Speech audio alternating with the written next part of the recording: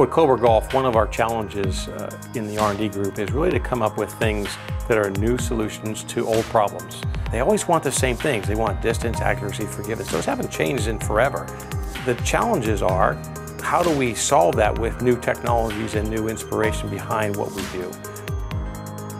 We've created a new product platform called the King LTD. On the LTD platform, we can create and think freely about what's going to make the product perform its best.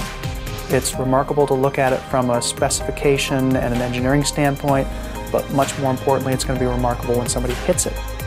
They're going to know right away that this is a very special driver.